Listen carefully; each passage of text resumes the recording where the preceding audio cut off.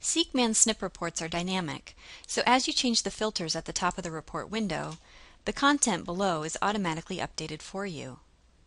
These reports are also interactive with the alignment view, so you'll notice that as I click through the rows in the SNP summary report, the corresponding column is also highlighted in the alignment view.